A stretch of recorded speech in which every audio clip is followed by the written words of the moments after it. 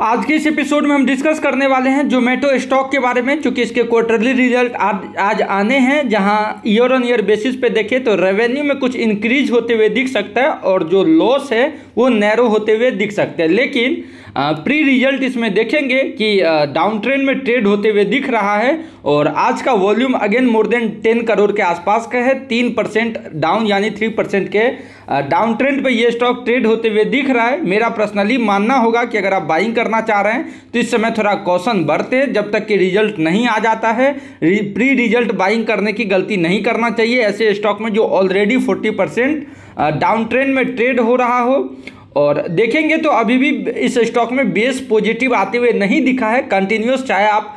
three month basis one month weekly या फिर daily basis पे देखें तो कंटिन्यूस स्टॉक डाउन ट्रेंड में ही ट्रेड करते हुए दिख रहा है। हालाँकि इस स्टॉक में अगर आप डिलीवरी देखिए तो डिलीवरी भी फोर्टी परसेंट तक की डिलीवरी दिख रही है और जोमेटो के लेवल को अगर आसानी से देखेंगे और ये स्टॉक अगर मैं आपको